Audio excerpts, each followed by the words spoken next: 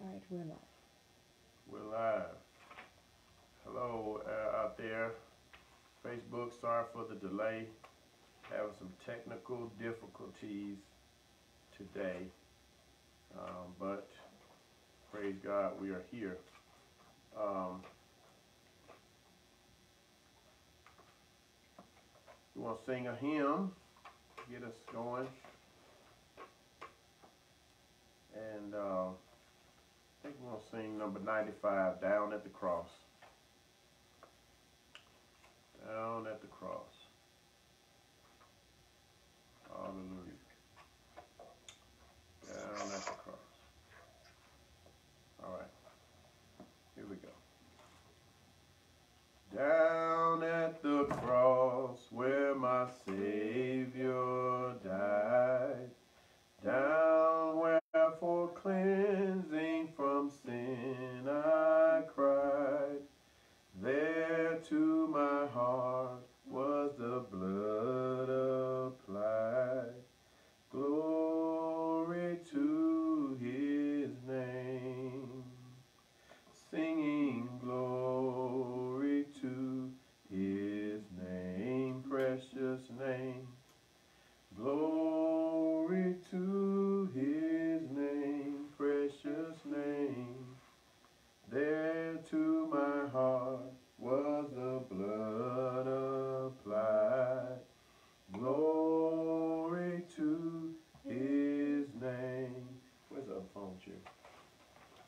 I am so wondrously saved from sin.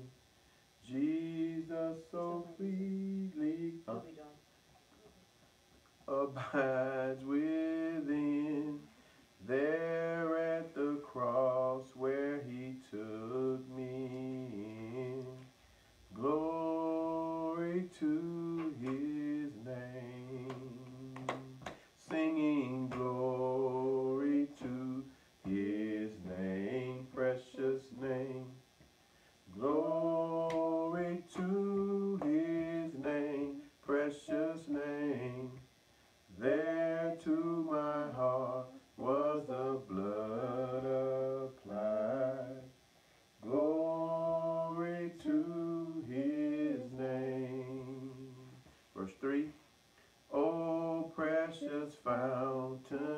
saves from sin.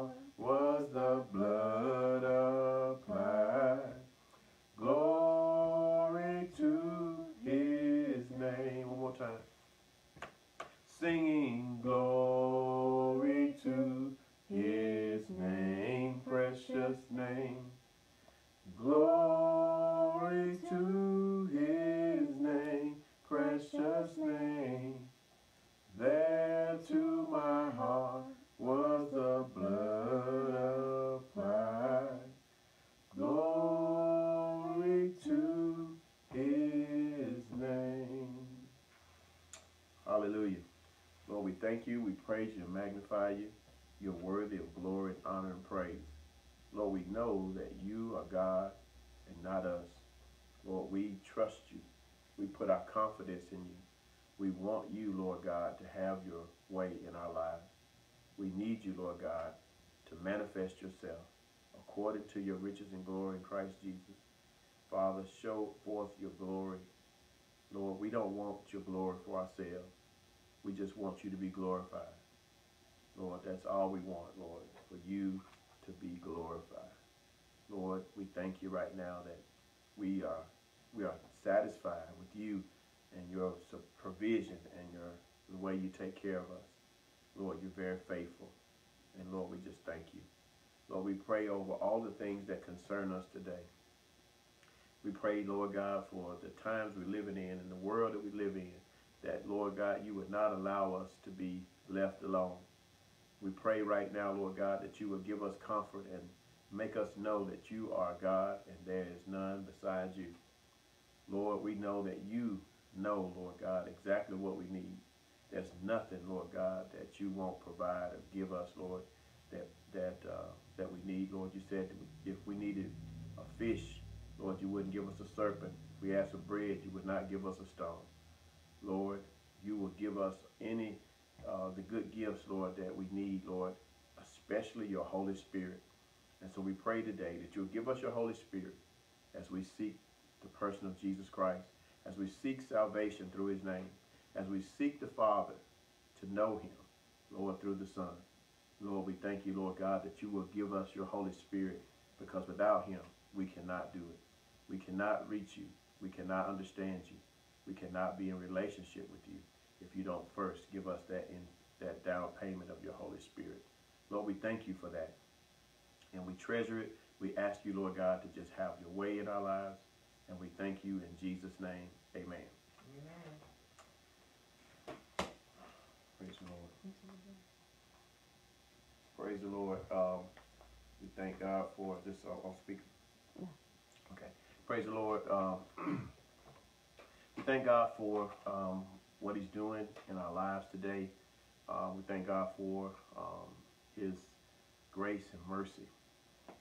Uh, we've been talking um, for some time now about what it means to be a disciple.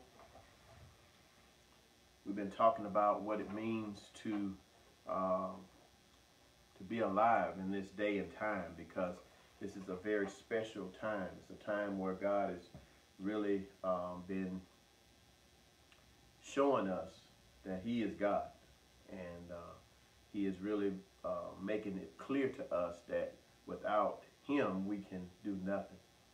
Um, we've been this morning in our prayer time looking at a passage that I'll start with in John chapter 5 and um, just set a tone. Last week we looked um, uh, again at uh, John 2 and John 3. We took a moment to look at uh, the well um, that, that we must dig in order to, uh, to really reach the fulfillment of what God wants for our lives, that we must understand how to dig a life that seems to the world to be um, isolated and exclusive, a life that digs down deep in an area, the area of uh, spiritual growth, the area of life itself, until you reach that life, that water. And uh, so Sunday we took time and we uh, tried to illustrate that. And so you can go back on Facebook and look at that. And if you don't have access to Facebook and you would like a link to that, please just uh, go to our website, send me a message, restoredsight.org. But um, that that is the purpose of that is that we would become aware of what it is God really wants from our lives. God wants something from our lives, and what He wants from us is spelled out throughout the New Testament. Um, today we're going to look at Jesus himself as he uh, gives us this indication or this clarity about what it is that uh, that God wants from our lives. and we'll find it uh, in in, John, in uh, John chapter five, verse nineteen, and uh, we'll also read verse thirty. Um, John 19 says, Therefore Jesus answered and was saying to them, Truly, truly, I say to you, the Son can do nothing of himself unless it is something he sees the Father doing.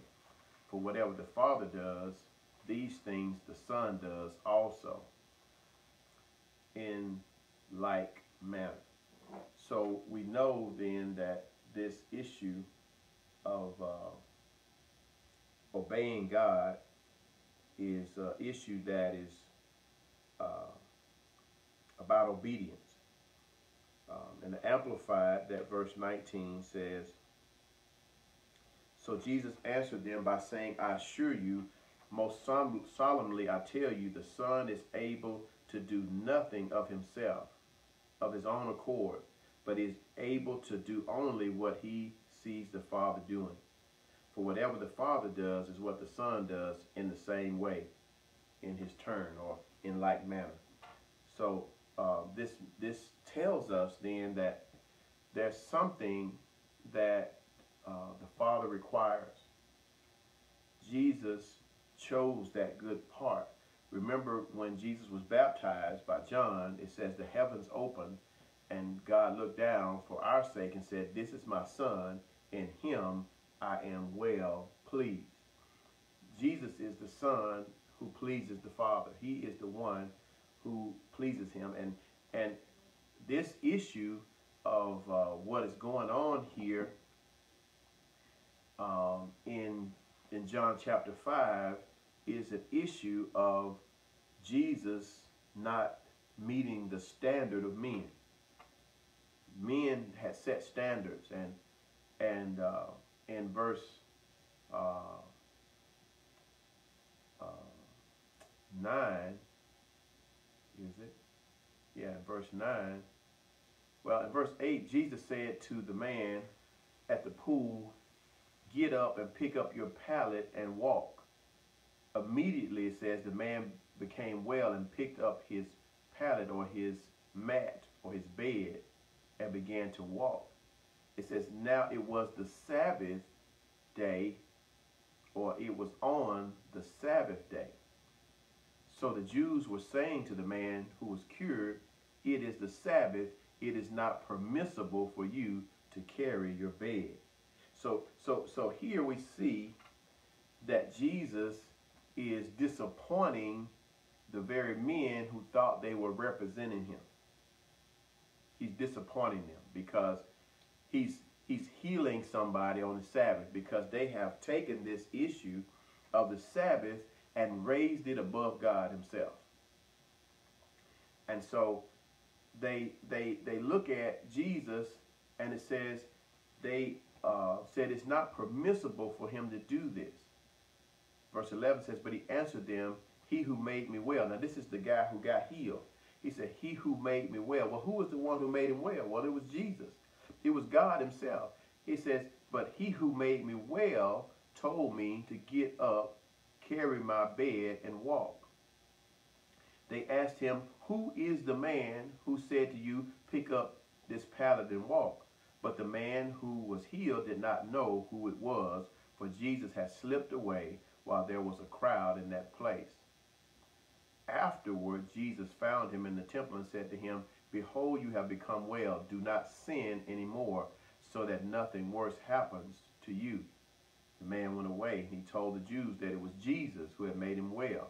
For this reason, the Jews were persecuting Jesus because he was doing these things on the Sabbath. But he answered them, My Father is working unto now, and I myself am working. Watch this. For this reason, therefore, the Jews were seeking all the more to kill him because not only was he breaking the Sabbath, but also was calling God his own father, making himself equal with God. So, so Jesus disappointed them. I'm saying that lightly. He really ticked them off hmm. Because they had, they figured that they had a market cornered on what God wanted. And they had put into this practice their own feelings. Remember, we looked at this last week, I think it was. We talked about the soulish realm. Now, the soulish realm is where we uh, engage our world. The soul is the mind, the will, and emotions. Yeah, we looked at this last week. It's still on the board. This is the soul. It's comprised of the mind, the will, and the emotions. It sits inside of a man. The soul is inside of a man. And if you don't have the Spirit of God, then what you have is the soul without God. Now, a man with God also has a soul. But you can be a man with a soul, but God may not be in your life. You may not have his spirit. And so a man with the soul without the spirit of God can make up his own mind about even the things that God has written and the things that God has said. The issue of, of our, uh, our day and time is the issue of Adam and Eve. Adam and Eve in the garden, they went against God. Eve heard the serpent, and the serpent said to Eve, uh, let's let's look at that quickly. I, I like to flip you just a little bit quickly, and um, this teaching is going to be, you know, I've been, I, you know, once I start looking at stuff, it starts expanding. So I'm gonna try not to expand it. That it, you know, I can't, I can't help it. I'm sorry. I'm gonna let God do what He do. How about that? So I'm to take you a little further because every time I touch these passages, God expands my understanding and he begins to speak what he wants to different groups of people. So what he wants to say now uh, will take up from uh, Genesis chapter 1 and, um, excuse me, Genesis chapter 3, verse 1. Genesis chapter 3, verse 1, we're going to look at why it is that these people wanted to kill Jesus. And I'm going to show you why it is. It says, Now the serpent was more crafty than any beast of the field which the Lord God had made. And he said to the woman, Indeed, has God said, You shall not eat from any tree of the garden? The woman said to the serpent, from the fruit of the trees of the garden we may eat, but from the fruit of the tree which is in the middle of the garden, God has said, You shall not eat from it, nor touch it, or you will die.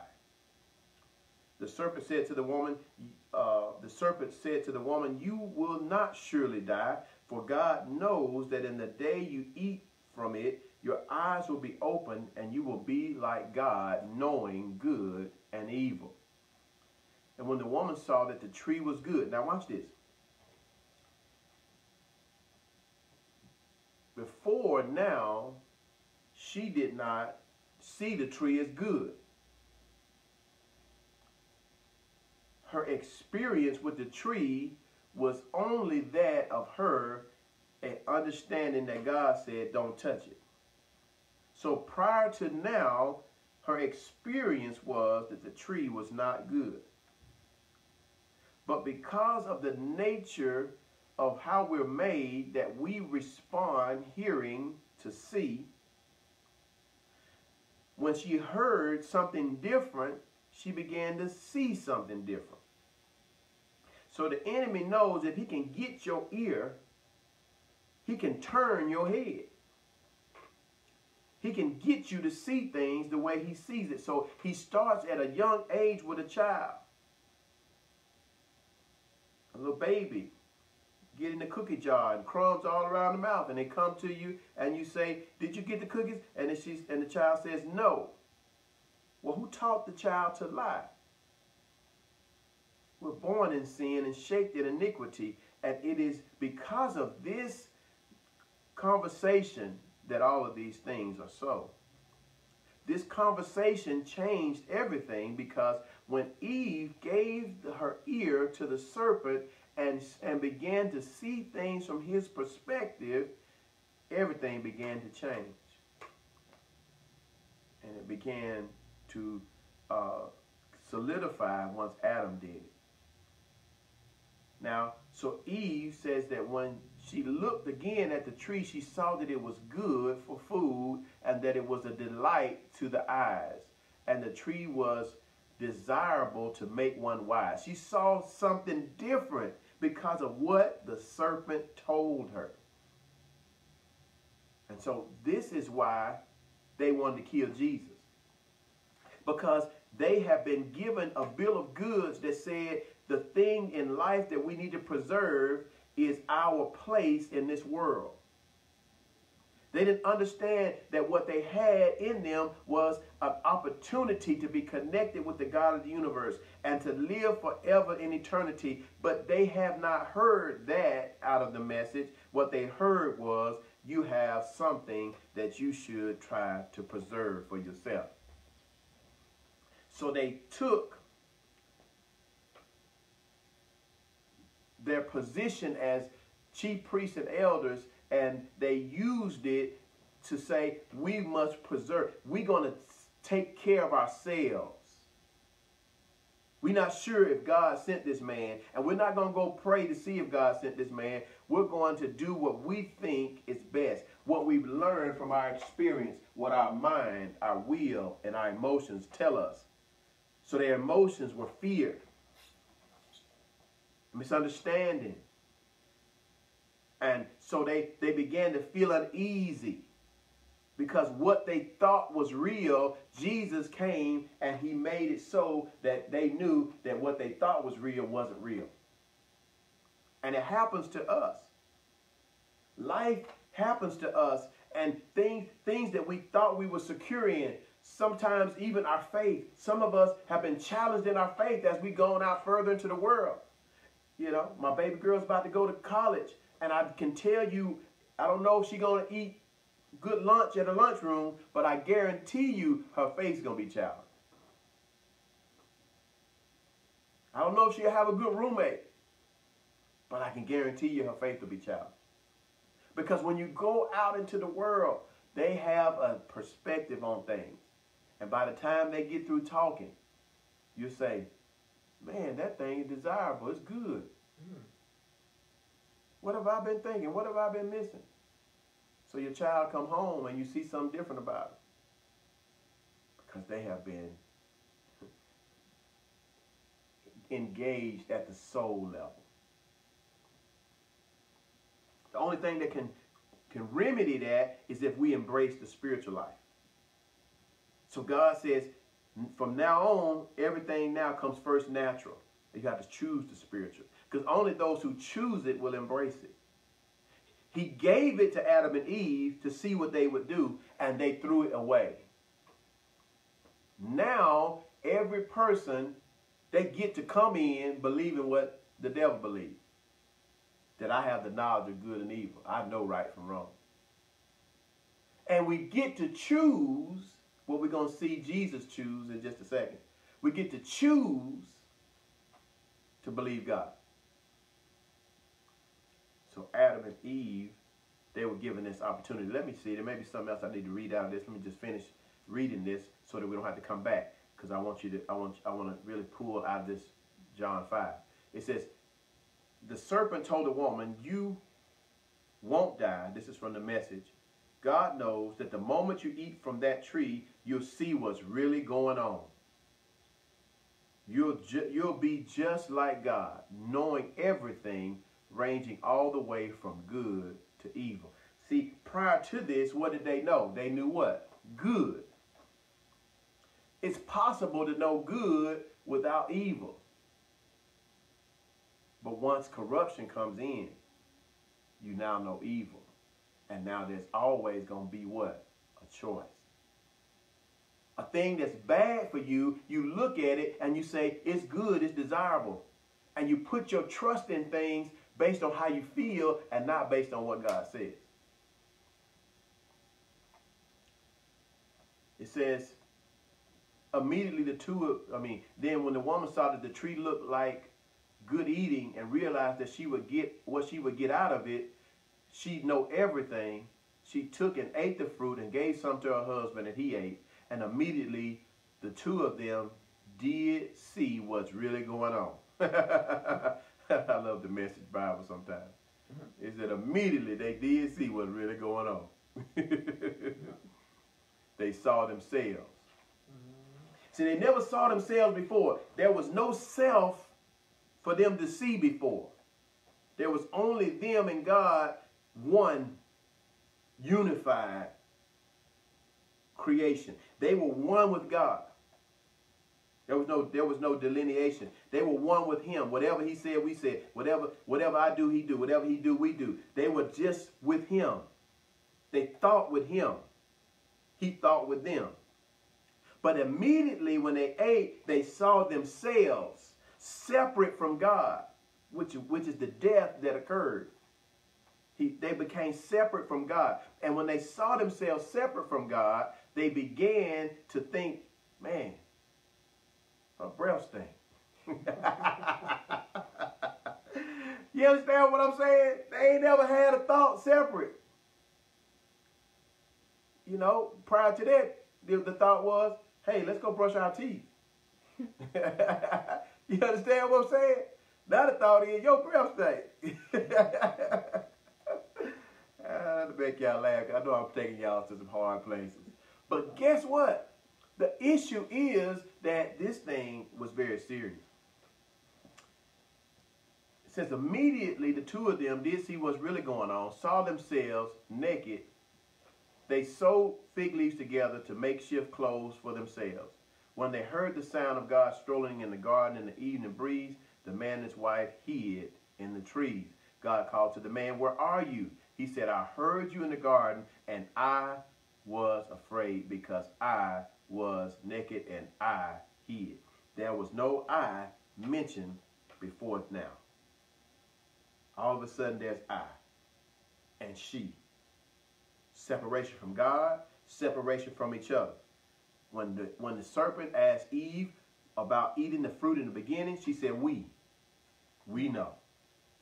There was no separation between her and her husband and no separation between her and God. But now there's I and the woman and she and he. And those things are now the thing that drive between us as uh, men and women of God.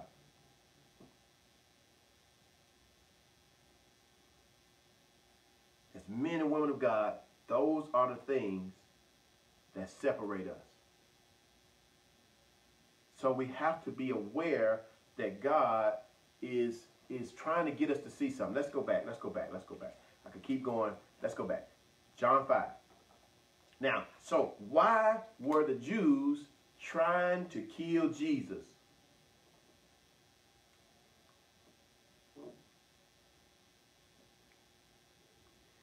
The Jews were trying to kill Jesus because they did not understand.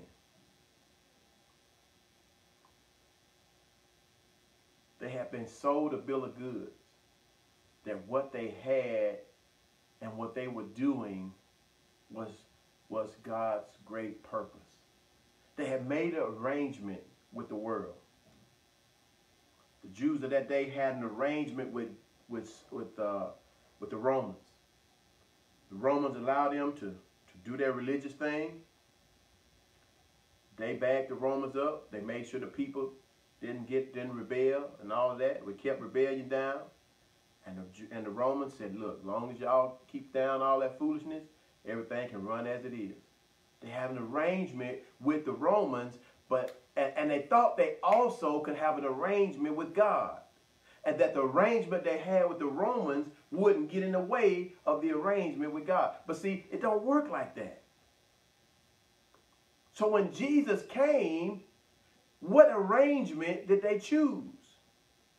They chose the arrangement they had with the, with the Romans. They chose the arrangement that they had with the world. But these are the religious leaders of the day. And they only follow God as relates to rules. They don't have a heart or discernment to know the will of the Lord. So they say to Jesus, who is the Sabbath. he is the Sabbath. They say to him, we We're going to kill you because you broke the Sabbath. Huh. You, you putting too much attention on yourself. We're going to kill you. That's out of control. You think? But this is coming from a soulish leadership, soulish realm of a man that they their mind has been trained through experience in the world. Their will is set to whatever a man has set their will to. So as even though they're priests and, and scribes and, and, and so on, somebody has set their will to say, I will be successful.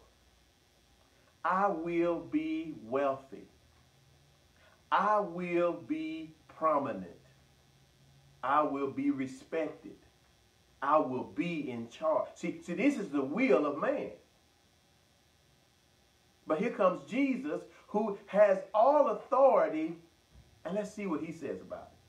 Because what they did was they took their will and they applied it to making sure that they could have the things that they wanted to be in charge, to be respected, to be able to tell people no, to be able to control people. I will control this church. I will control the people. And, and so here it is. Here's Jesus with all this power and authority.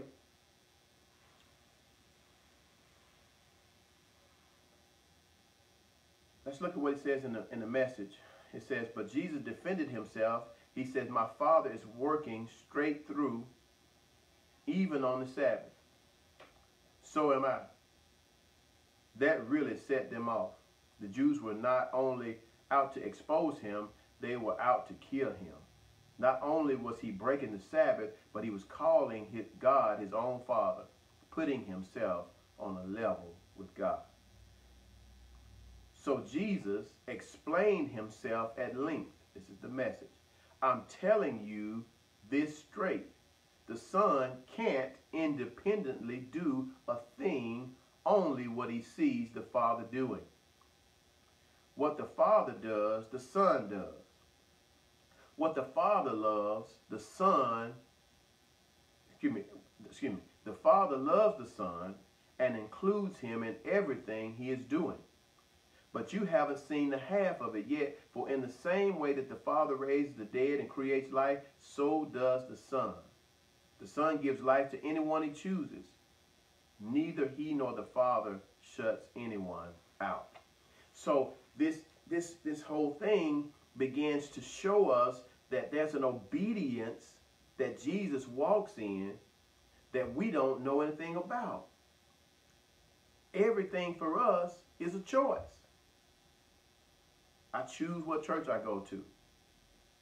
I choose what job I want to have. I choose who I'm going to be in relationship with. I choose who I'm going to forgive. I choose who I'm going to hold accountable. I choose everything for myself because I have the knowledge of good and evil.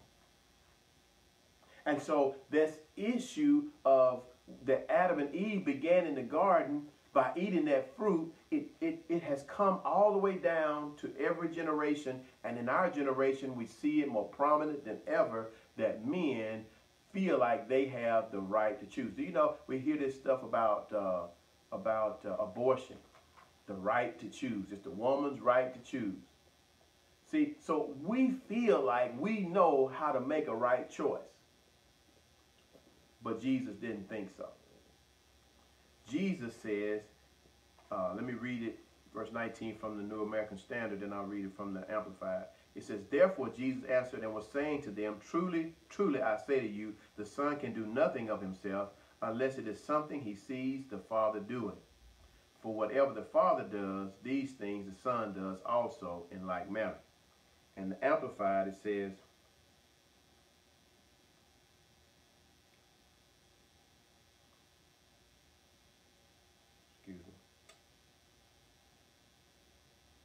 So Jesus answered them by saying, I assure you, most solemnly I tell you, the Son is able to do nothing of himself, of his own accord, but he's able to do only what he sees the Father doing. For whatever the Father does is what the Son does in the same way in his turn. So so so the, the Son says, I can only do what I see the Father doing. He doesn't say, I do what I see my Father doing. He says, I only do what I see my Father doing. So, so there's a there's there's something to for us to uh, to understand of this.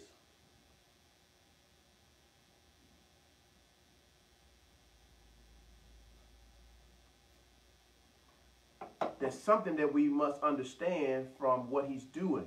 That if we don't get this particular thing, then we won't understand what we spent last week seeing. That, that Jesus didn't commit himself to others because he knew what was in them. See, the nature of the flesh that came into man during that falling away in the garden, that nature cannot please God. The reason being is because that nature will always oppose what God wants. It is, it is that nature that believes that it knows best. It is that human nature that thinks that it can choose right from wrong. There have been many times in my life where I would have discounted someone. I would have not been in relationship with someone. But God said yes. My flesh said no. And some of those individuals I've seen God just take their lives and build them up and do exceeding great things. There are other people who I thought were going to really be a blessing to my life. I can't. I put all my eggs into that basket and all my eggs got crushed up. I didn't even get an omelet. Uh, scrambled egg got a deal. Because I thought I could judge right from wrong. There are things that I did that in my mind it was right for me to do. But in hindsight, I would never do it again in my life. See, I know y'all can attest to what I'm saying.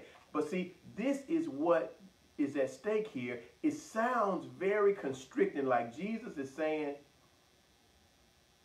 man, you you you you lose you you feel like when you hear him say, "I only do what the Father does," it sounds like I, I lose that that I'm gonna lose my life. I mean, what what will my life be if I can't make choices? If I can't make my own choices, I don't want to live. I I get it, but only after you have made enough bad choices, and hopefully live through them, can you come to this conclusion only once you have seen the value of giving your life to Christ can you make this come to this conclusion that I only do what I see him doing. I let him be the judge and the jury. I trust him that much. And so this message of, of being born again has to do with getting into you a nature that can be uh, obedient and can be uh, workable in the plan of God. When we have our old nature, that nature will not allow us to bend into the will of God. Our own will is strong. And God will not force you to change it. He will only invite you to line your will up with his. He will only instruct you and teach you. Now, there's a lot here, but for the conservation of time, I'm going to skip to, to verse 30. And, uh, and read from there.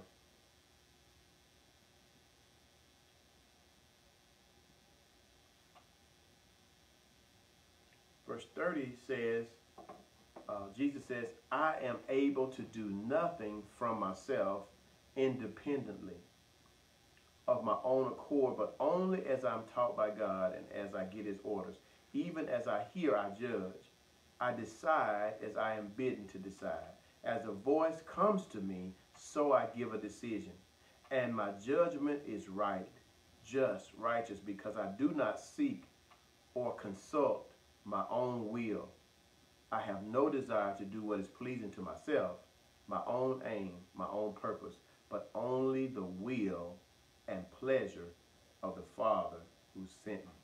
So, so, so the character of Jesus is shown here in this 30th verse, especially in the Amplified, which, which amplifies what he says, that he is very much aware of how tight it sounds. But he wants us to know that the difference in this Adam, which he is, and the first Adam is that the first Adam chose his own way. Chose his own way. He rejected God being his source of understanding. He rejected that God would be the one telling him everything to do. He rejected that and he found another way. That way involved him uh, eating of that fruit and then being kicked out of the garden and having to live by the sweat of his brow. That way led to Genesis chapter 6, where God destroyed the whole earth because everything in their mind was evil continually.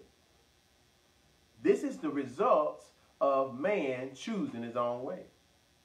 God was able to save one man, Noah, and start again. But even then, he had to implement a new plan through which he would bring a nation. He would show that nation his will, his purpose.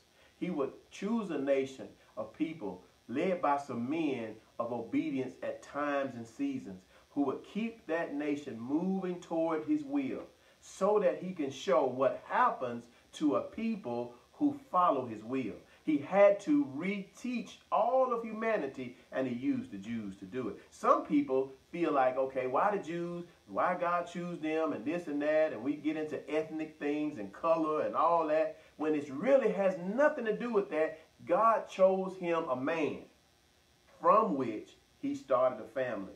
And that family he used to build a nation who he called his own. That nation he put under sanctions and laws at a point in time. And he caused them to try to be like him by using the law.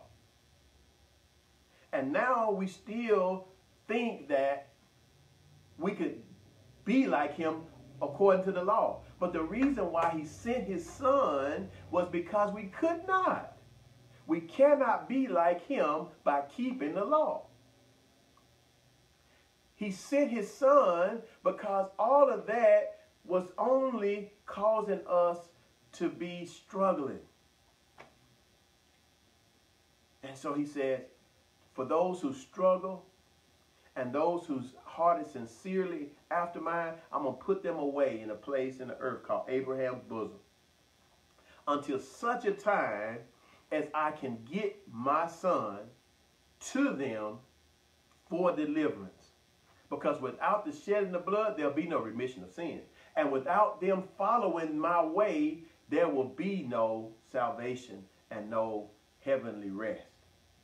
So Jesus had to come and not only die, but he had to live to show us that you can do what this right here. He says, I am able to do nothing from myself. So if the Satan had to come to Jesus, and he was the one in that garden, and he said, well, why don't you eat of this fruit? It'll make you wise. You know what Jesus would have said? I am able to do nothing of myself. Do you see what I'm saying now? If he had said that, then the whole thing would have stopped. Even if Eve had ate it, as long as Adam didn't do it, because he was the one holding all the seed, he was the one who God had in charge. As long as he didn't do it, there would have been, a, been hope for reconciliation, for us to stay in relationship with the Father. But guess what? Adam didn't do this. But Jesus says, if Satan were to come to me, this is what I would tell him. I am able to do nothing from myself, independently of my own accord, but only as I am taught by God and as I get his orders. So, so the issue of discipleship is the issue of not thinking that you have something to bargain with with God, but opening yourself up and say, God, dig as deep down and remove whatever you got to remove until the flow of water flows. I don't want to know what's all out there. I don't need to investigate all out there. I know what the issue is. It's down deep inside. Dig down, Lord, and remove out that old nature. Every part until the water flows, till your life flows. You know, we sing that song, Turn my heart, O Lord, like rivers of water. Turn my heart, O Lord, by your hand, till my whole life flows in the river of your spirit, and my name brings honor to the Lamb. It is in that digging that he removes all of that. And we now have this fresh flow of life. He says, I can only do this as I am taught by God and I get his orders. So the issue of disciple, what is discipleship? It is being taught of God and getting his orders for your life. It means sitting down, digging in that one spot till depth comes and the water flows. Getting understanding not continuing to dig all around everywhere, trying to get some here, some there, some there. I've done all that. I've been in all these crusades and all these camp meetings and all these different things and classes and most stuff, and I realized that it is in the digging down. But see, when we dig down, we get into that hard place. We get into that place where the shovel gets stuck in the muck and mire of our life, and then we want to stop digging. We get discouraged. We get tired. And so then we say, well, let's try to dig over there. and we dig down a little depth. Then we dig over there. Then we look and we say, well, we got a pretty good sized hole. If it rains, we can fill it up. So we praying God for rain. Oh, Lord, let the rain come. And so he will rain. He said he rain on the just and the unjust. Externally, God will fill up so that people can come and get something. And so now we start a ministry. We got a, we got a, we got the, we got the foot wash. Hallelujah. We done dug a hole in the ground and we done started the foot wash. But guess what happens to the foot wash? You know, they said the foot wash used to be a holy thing. Mm-hmm. But you know what it became? A muddy pool, a cesspool, contaminated. Now they go down there and they sell weed and dope and everything else and all kind of foolishness going on because you can't dig a shallow thing and think that it's going to stay clear and, and, and stay pure. It's not going to happen. It only, it's only when we get down to where God himself is the one flowing and there's nothing hindering him. So Jesus says, this is how that happens for me. This is the way I, I, I know that I'm flowing with God. I'm able to do nothing from myself independently of my own accord, but only as I'm taught by God and as I get his orders, even as I hear, I judge. I decide as I'm bidden to decide. As the voice comes to me, so I give a decision. Now, so so Jesus says, this is how it works for me. When I get into a situation, I'm listening for God. Folk be looking at me, Pastor, you all right? I say, I'm listening. Oh, okay. They don't know what I'm talking about. Because because you already know what you're going to do. I say, hey, can you come up here Saturday? Oh, no, I can't come Saturday because blah, blah. You ain't prayed. You ain't asked God. What, you didn't take one second to see if the Lord wants to change your plan. You already got your plan made up. And it blows my mind. These are folks who say they believe in Jesus and I've given him my life, all honor to God and all that. And when I ask you a question, you have you don't take one second to consult him. You already got your mind made up. Oh, no, I can't do that. How do you know? Because I'm tired. Well, I guarantee you, if, it, if, if, if I was able to to say what yes and no to God because I'm tired, when none of this be going on that's going on here now. That's all folks tell me all day. Pastor, you look tired. I am tired, but that don't mean I get to sit down. And so I'm not, and, and so don't mean that don't mean try to do what I'm doing. I'm saying you gotta hear God for yourself. He says, as I hear the voice, I make my decision. So you can't make no decision until you hear his voice. So Eric, when you talking to me and you see me pause, it's because I'm listening. I don't know if I can do what you're asking me to do. And then the other part of that is this human thing where people they, they get upset because you don't can't give them an answer right then. They want an answer right then. And if you don't give them one and you don't give them answer they won't, then they feel like you're doing them wrong. I'm not my own. We sing that song. My life is not my own. To you I belong. I give myself, I give myself to you. It's a joke. But we need to be serious because Jesus says, this is the way I live my life. He says, one more time. He says,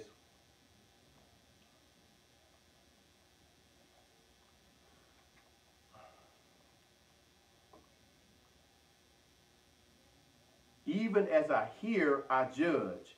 I decide as I am bidden to decide. As the voice comes to me, so I give a decision. And watch this, when I do it that way, he says, my judgment is right. It's right. It's just.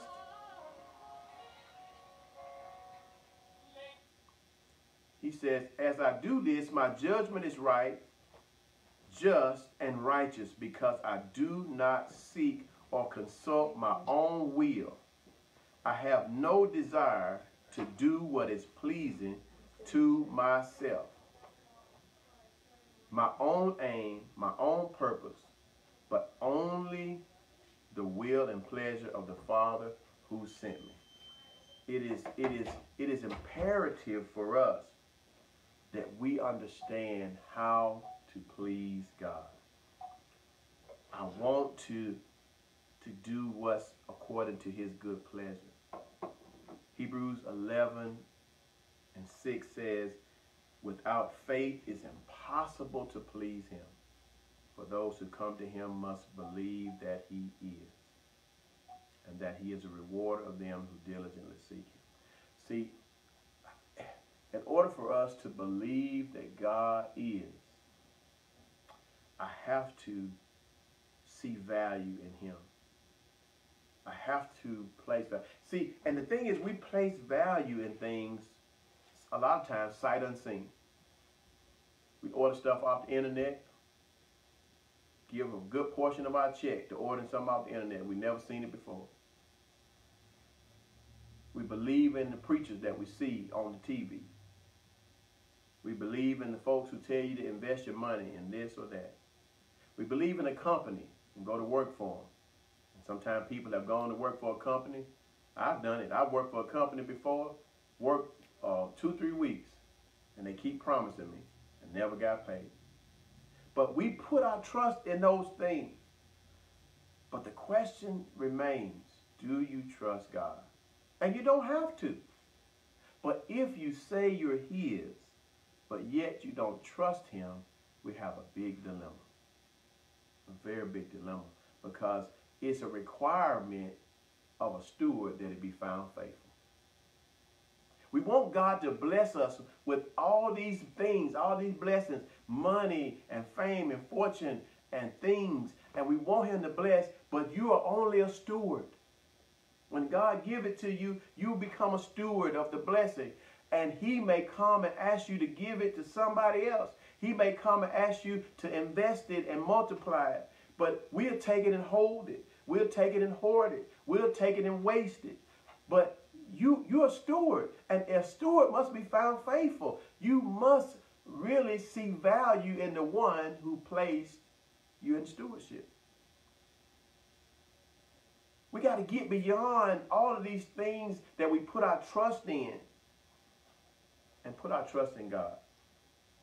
Jesus did this. He said, All excuse me, he said,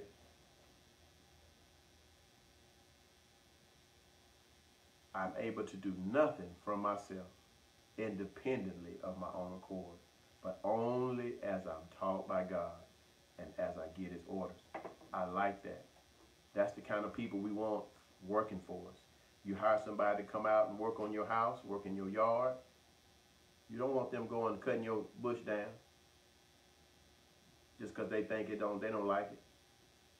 You want them to do only, right, what you tell them to do. So it's not that God is being hard, it's that he understands the nature of things better than we do. And we have to be aware of our responsibility to him. Um, John 17.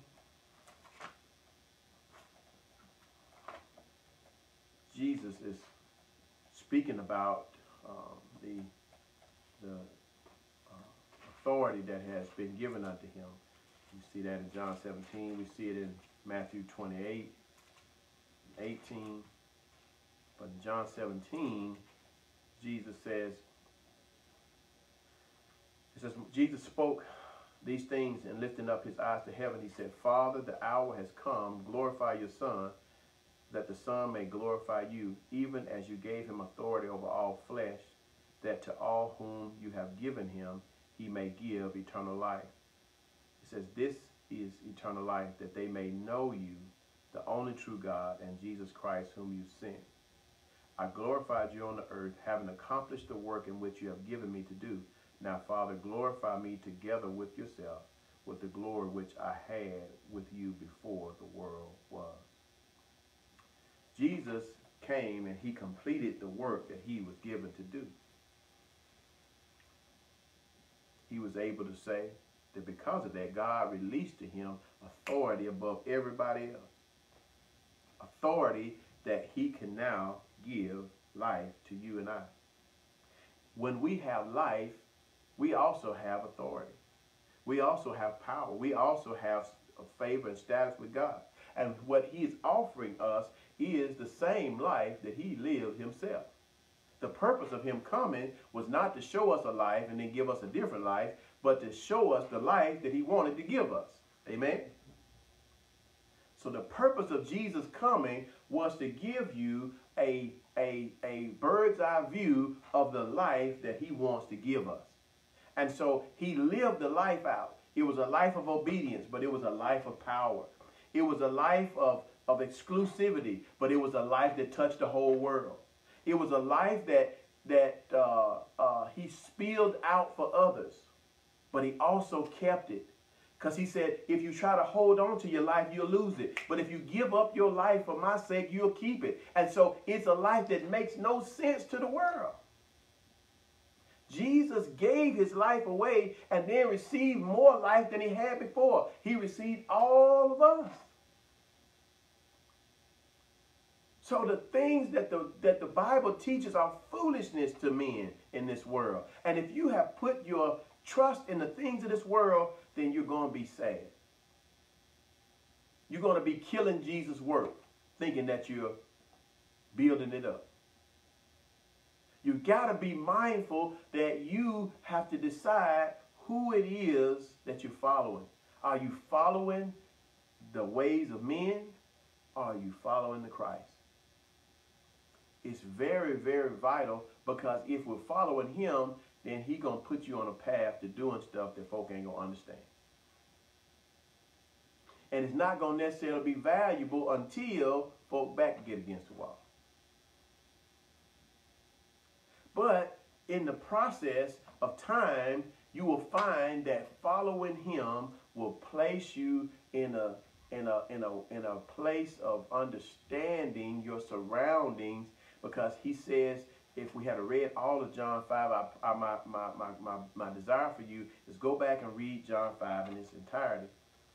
Because it talks about the benefits when he when it says in chapter in verse 19 that he only did what he saw his father do. In the next verses, it began to tell you the benefits that came because he did that. It said that he now was able to know everything that the father knew. It says also he was able to raise the dead as the Father could raise the dead. It says also that he was given life eternal and could give it to whom he will. And that he even had life that existed within itself. And so all of these were the benefits of his obedience. And so if those were the benefits of his obedience, what will be the benefits of your obedience to Christ? Will there be any less? I don't think so. I think that if we would give him our life, he's telling us that this obedience pays off and it will put you in a position to do things so great and wonderful. But what you what you can do if you don't want to do it, you don't want to trust him, you can you can allow yourself to live out this soulish life. This life of the soul led by your mind, your will, and your emotions, which can only record the mind, the will, the emotions. They do not create life. They do not create wisdom. They only can contain life and wisdom as received into you. So as you go through life, you're obtaining or, or picking up ideas and thoughts and experiences, and they're going to populate your mind. They're going to set your will and they're going to be affected by your emotions. So if in your life you've been shown uh, violence in your mind, you begin to think that life is about violence and that violence is the only way to be able to survive. So then you set your will to do what? Survive. So then you're going to become the most violent person there is. And what's going to trigger you to make those decisions? Your emotions. So if somebody makes you nervous, you may kill them. If somebody makes you upset or breaks your heart, you may kill them. And so here we saw that these Jews, their mind had been shaped by the oppression that they have been under, and they had put their hearts to survival. And they said, we're going we're gonna make sure that we keep everything in line. So nobody make a move. Nobody do nothing. You can't do nothing on the Sabbath. God never told you you can't do nothing on the Sabbath. He said to keep it holy. So that means that choose a time and make it holy and spend time with me so I can replenish you. A time where you put your trust in me. So for me, the Sabbath is a day when I don't go out and try to make anything for myself. It's a day when I put my trust in God. And over the years, people tried to make me work on my Sabbath. They tried to tell me when I was in construction, we're going to cancel your contract. We're going to sue you. We're going to do all this. And I said, well, I wake up sometimes at night, I'm thinking, I don't know what I'm going to do. In the morning, I know what I'm going to do. I'm going to stay and go to church. I ain't worrying about that. And when Monday come, I never hear nothing else about it. Mm-hmm. Because at the end of the day, it's just pressure from the world. But my Sabbath is how God shows me his strength. So if God is showing me strength on the Sabbath to show me that I don't have to go out and work, guess what he's doing on the Sabbath? He's working. if I if, if if on the Sabbath God is securing me and taking care of me, that means God is working on the Sabbath. See? That's what Jesus said. He said, My Father works until now, and I work. But we try to use human wisdom and we like rules so that we can govern over folk. But this is the issue of the mind, the will, the emotion. It is not the issue of the heart, the Spirit of God that has wisdom that will show you that the purpose of the Sabbath is for man to rest and to put his trust in God. It's not, for, it's not to put the man in jail. It's so that God can be glorified. So that he can know that I got him. So man rested. So God, it said God rested on the seventh day. But guess what? God is still in control every day of the week. So the mind, the will, and the emotions, they will trick you into thinking that you are in relationship with God. And so here you are with your life, and you set your life up, and here you are with your soul, yourself, in the center, and you got God in your life somewhere out here. Where is he? Maybe he's out here. But he's not in the center of your life. He's not the source of your power. But Jesus says he is the source of my power, not me. I'm not the source. God is the source. And so Jesus said, I do nothing of my own self because God is the source of my power. I can't do nothing of myself because I move myself out of the center of my life. That's what he was saying to Nicodemus. That's what he was saying in, uh, in John chapter 2 and 3. He says he didn't commit himself to any of those men in John 2 24. He didn't commit himself to any of those men because he knew in, in 225 what was in them. And then Nicodemus comes to ask him about it. He said, You must be born again. There has to be a transformation that takes place so that you can begin to live your life the way Jesus lived his life. He lived a life where God was the center of his power. He's the source of all things. Everything that Jesus did emanated from God. Everything. His family, how he, how he dealt with his family, it emanated from God. How he did with his job, it emanated from God. How he dealt with his community, it emanated from God. How can I be here and deal with people who who try to trick you, try to do this. You're dealing with church. You're dealing with all kinds of folks overlook you. People act like you act like they don't realize that you need have needs. You got all this stuff going on. How could I possibly do what I do unless God is the source of everything? When He's the source of everything, I don't get so far out here and run out. That's why people can't, they can't do this. They can't come and help with a community because they ran out because everything they're doing is coming from them. And so they're like, shoot, I'm tired. The reason why you're tired is because you haven't uh, let him dig down and remove you out the way and bring that water because the water has a life of its own. He said, you will never thirst again. You can pour out continually life unto others, but you can't do it when you're selfish. Because selfishness only consumes. The power of God, it goes forth and it produces. So if you're going to be somebody that's going to walk with him, he says, I'm not going to even waste my time committing myself to you, even though you saying you want to commit yourself to me, because you have nothing in you to carry what I need you to carry. You must be born again. You must be born again. You must allow me to remove that old nature. And I'm here to tell you, I'm, I'm done. I'm here to tell you that if you allow him to do it, your life is not going to be boring. Your life is not going to be bad. Your life is not going to be whatever. Now, are you going to have to say no to some foolishness? Yes. But you should do that anyway.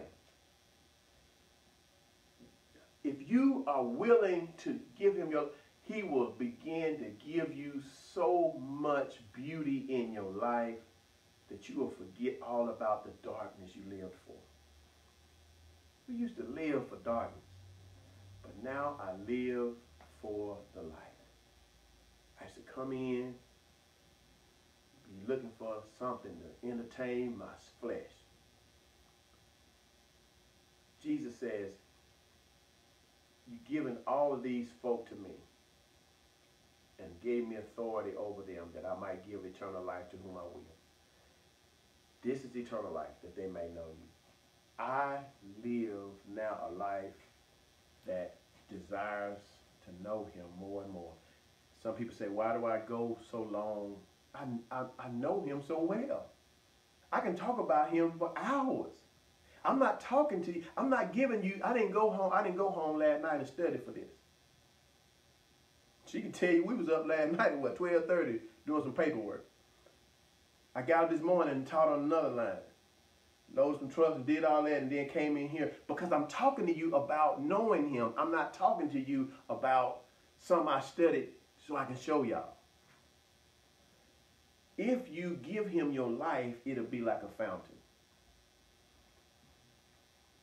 This is what he wants. It's got to be a because if it's not a fountain, then it's going to at some point dry. It's going to some point become tainted. Questions, comments?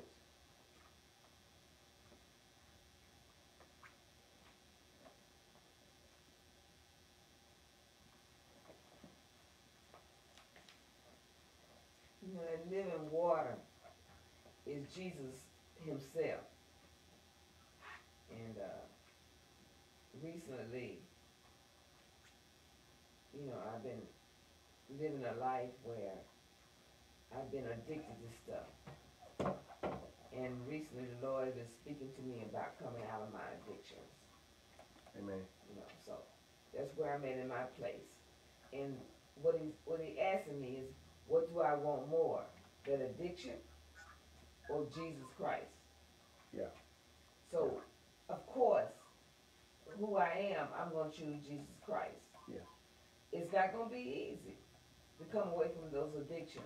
Yeah. But I have to strive for that. I have to seek that Amen. you know, seek more and more of Jesus Christ, his life, to be more like him, Amen. you know, to develop myself in righteousness, which he provides. Amen. Amen. Uh, I hear sister saying, I don't know if y'all can hear her. She says that that water that that wants to flow is Jesus Christ, life Himself. And she said in her life there have been some addictions that was in the way of that flow.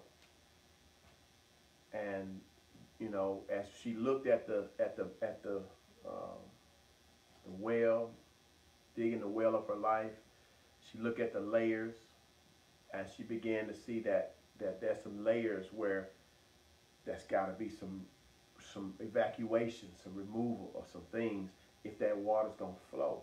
See, that's that's where we got to get to. We've got to be able to see it ourselves. It's not good enough for nobody else to see it. Because some of those things, see, see, if I was to look at you, I would say you would probably the least person I would think would use the word addiction, right? You know, now your addiction may be pecan pie. I don't know. But if it's in the way, right? Mm-hmm. If it's in the way of God doing what he want to do, then you got to let it go. Because it's not a spiritual thing that's blocking you, the, you know, it is a, a, a issue within the mind, the will, and the emotions, the soul. Because Jesus can remove, he can remove, he did it already at the cross. Romans 6 says, we know that our old unrenewed self died with him. If I believe with him, my old unrenewed self died with him. But it's just like the woman who had been beaten her whole life and her husband is dead. She still won't go do certain things. She just, she just scared. She still won't drive. She still won't do this. She still won't date nobody. Still won't do because even though a thing can be gone mentally, if we haven't been transformed by the renewing of our mind in that area, you still feel attached to that thing. There's there was there's a there's a uh, addictions. Re, the reason we have addictions because we have a a we feel there's a need for that thing. That thing has value. It's bringing me comfort. It's bringing me something, and that something. This is the issue.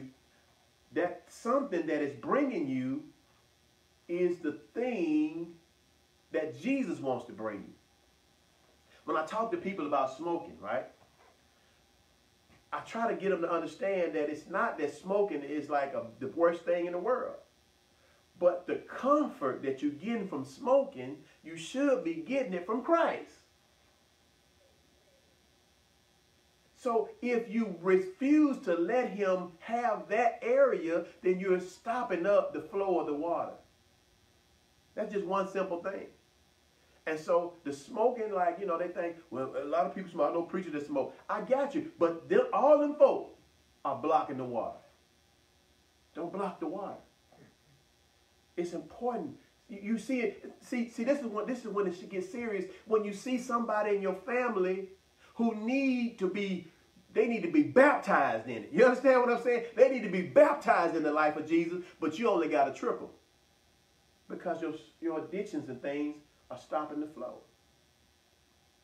That's when it should come to the point where you say, I'm, I'm throwing these things off. They, I'm, I'm, I'm, I'm not going to hold back any longer. I'm letting Jesus have my life. Whatever I see the Father doing, that's what I'm going to do.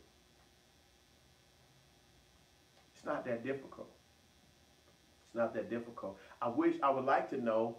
I wish I could just take a poll of the people that have grown with me to ask them whether or not I'm such a different person. I know I'm different. There's certain things I don't do, but I wonder, am I such a different person now that I that I'm let I let him have my life? I don't think so. I don't think I'm any less likable.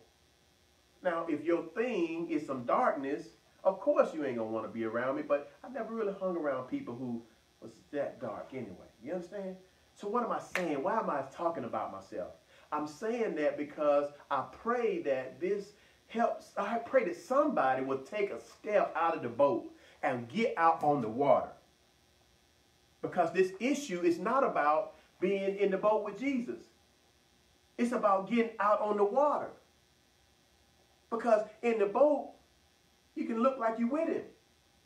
But I know Peter was with him because when he said, Bid me come to you, Jesus said, Come, he jumped out there. And when Jesus chose somebody to speak for him, even though Peter had denied him, who did he pick? He picked Peter because Peter was the one that was willing to show that he's with him no matter what. And I'm saying, how long will we sit back and want to be that one and be letting stuff get in the way?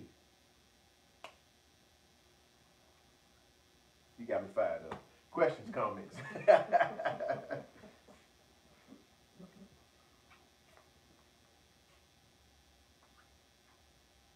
Zoom people, Facebook people, questions, comments.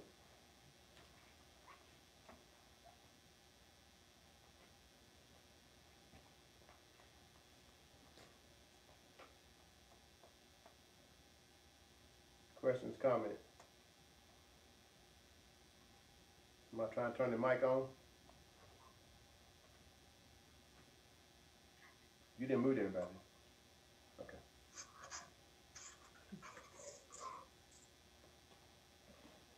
I'm listening.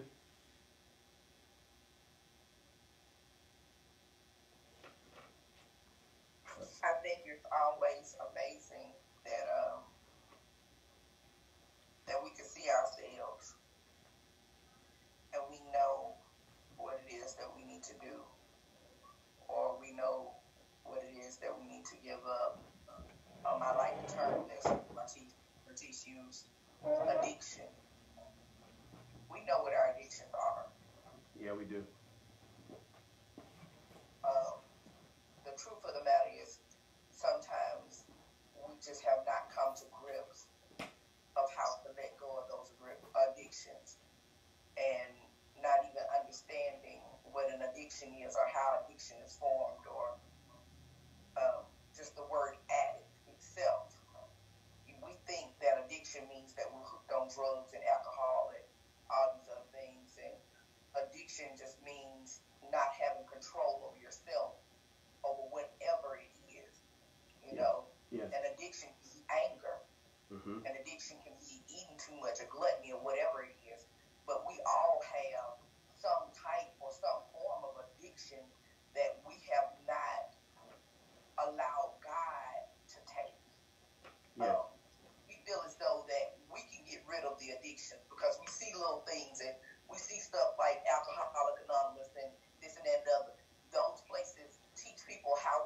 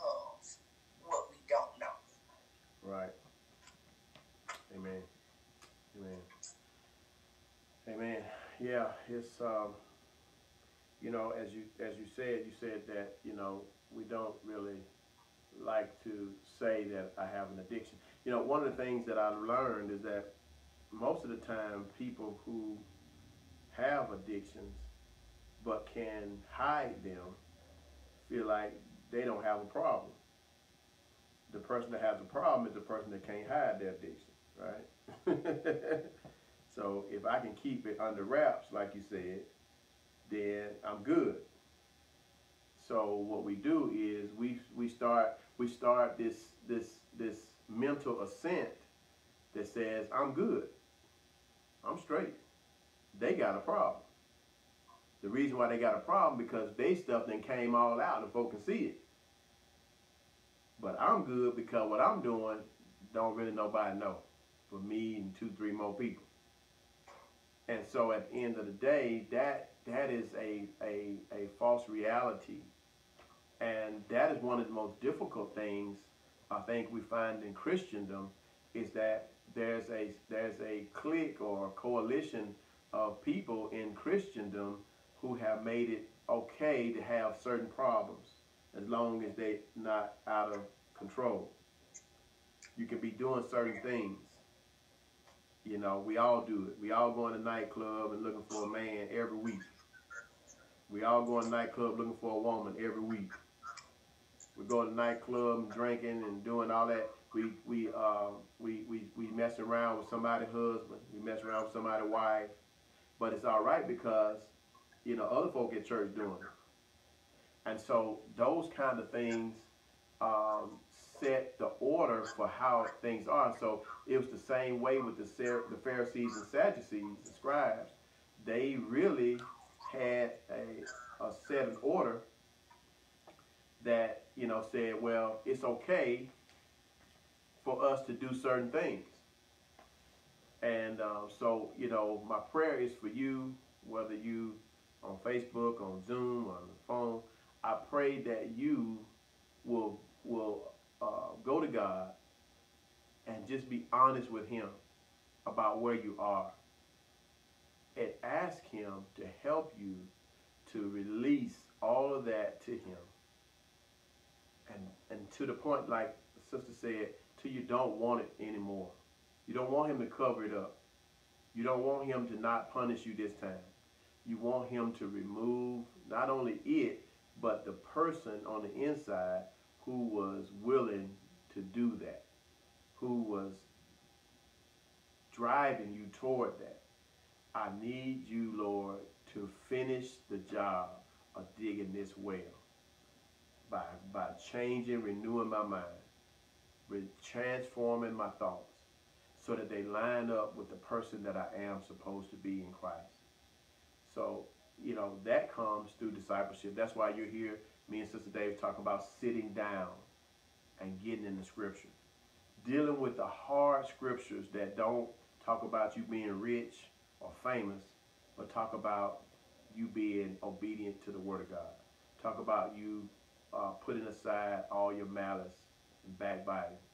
Talks about being uh, in in one with the Spirit all of the scriptures that we will talk about in discipleship have to do with doing away with the self mostly.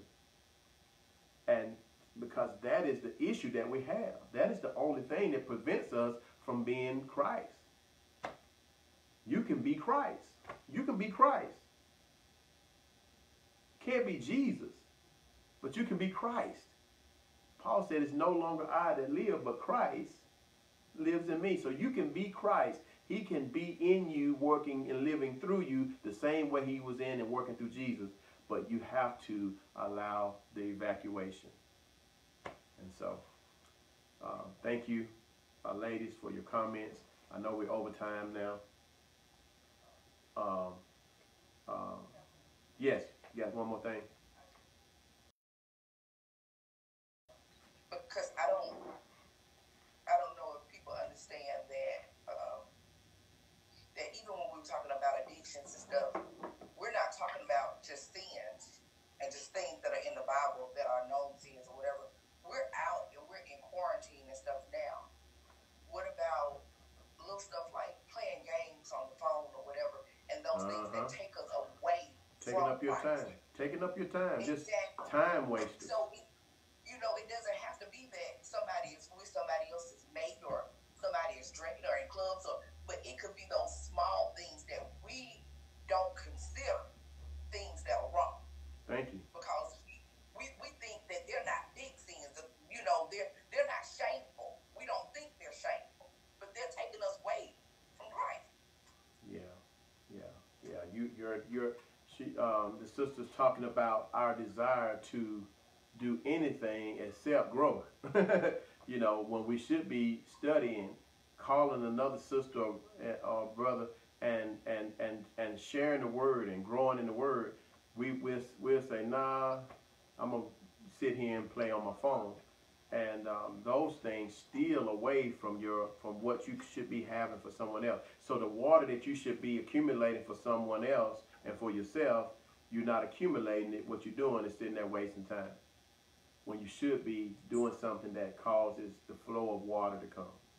Um, and so, thank you. That is very good. Um, you know, time wasters, and you know that's going to be judged as well. We need to understand that He's going to judge you. He's going to play back your life. And if you sit there and wasted most of your life and hadn't put your time in with Him, He's not going to be. Um, uh, he's not going to overlook it. And uh, you may make it in, but you're going to smell like smoke. You know. And I don't want to be one to make it in and smell like smoke.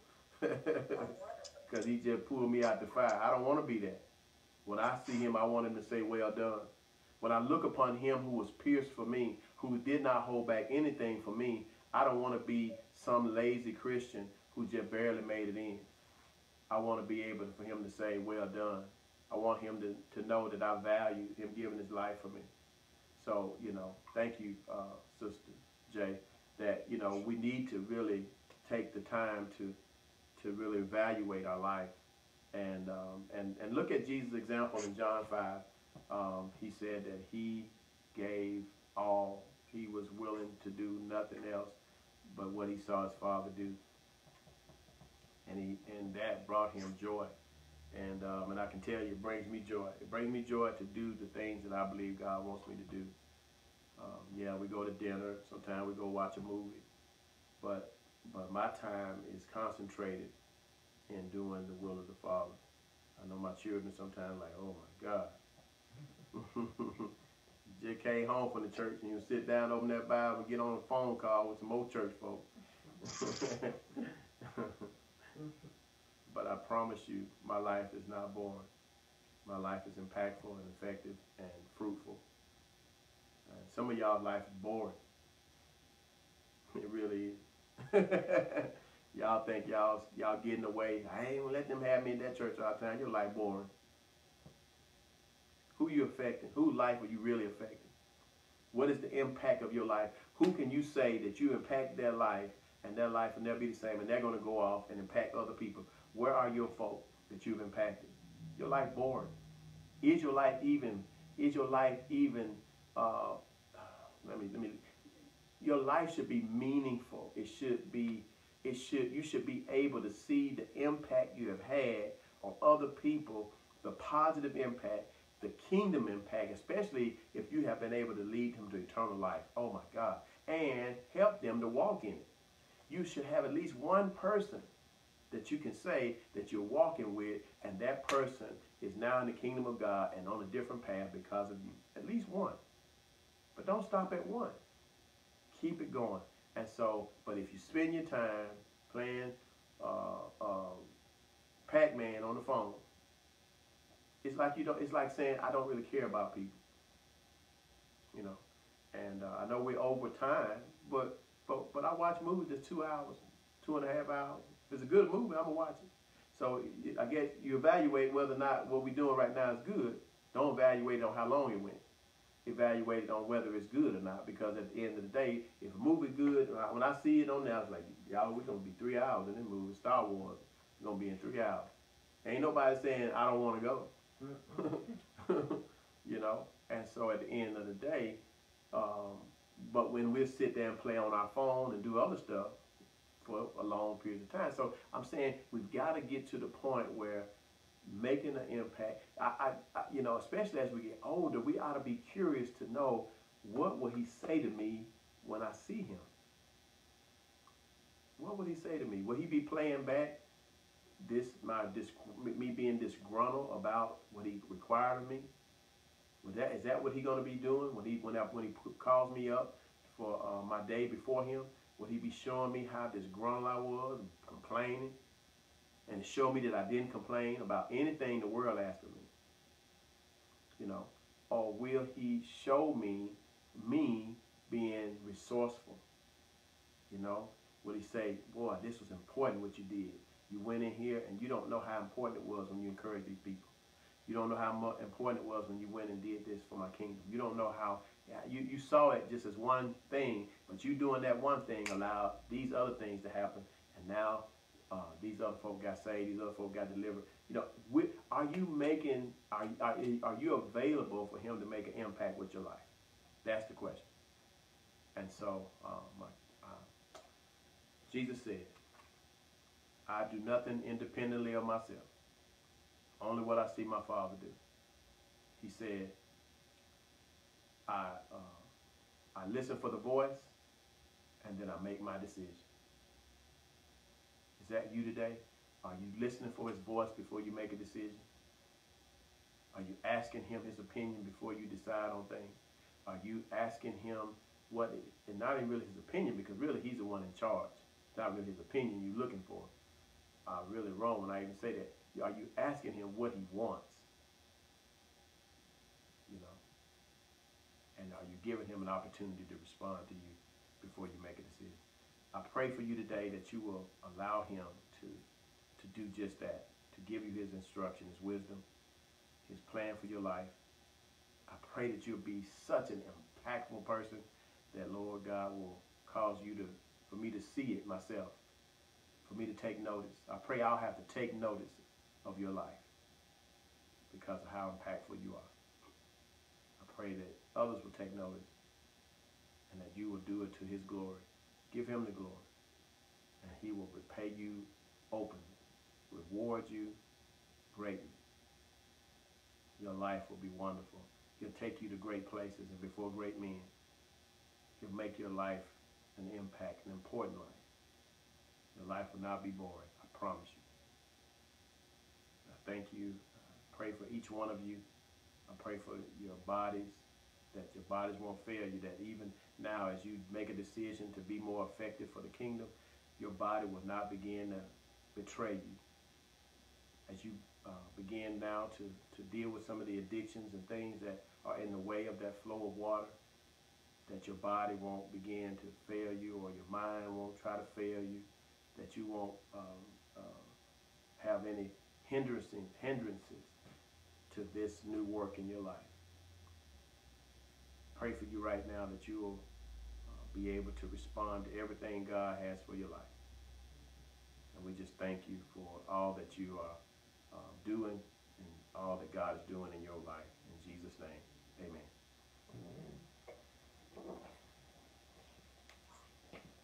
All right, y'all. God bless you.